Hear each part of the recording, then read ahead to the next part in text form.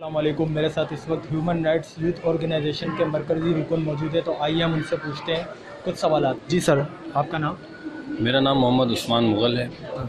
Sir वैसे लियारी के हवाले से आप कुछ कहें कि लियारी में किस तरह अवेयरनेस जो है वो प्रोवाइड की जा सकती है या फिर एजुकेशन किस तरह प्रोवाइड की जा सकती है?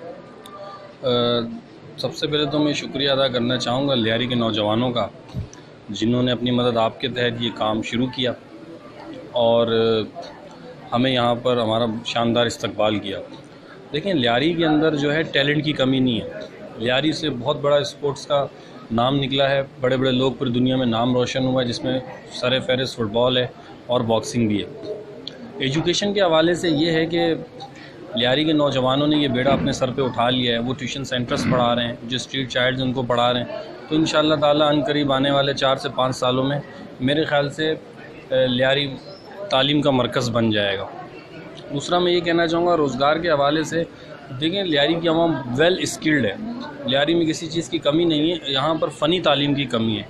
जो नौजवान हैं, जिनके पास नौकरियाँ नहीं हैं तो हम कोशिश करेंगे उनके लिए हुनरमंद तालीम के कोर्सेज़ करवाए जाएँ, स्किल्स एजुकेशन को प्रमोट किया जाए, जिससे जो है वो एजुकेशन इस अपना हुनर हासिल करके अपने मुस्तबिल को बेहतर बनाएँ और जो लोग, जो शादीशुदा लोग हैं, वो भी कोई हुनर सीखें। अगर वो लेबर कर रहे हैं तो वो हुनर सीख के अपने लाइफ स्टाइल को चेंज करें और अपने बच्चों को अली तालीम दिलाएँ।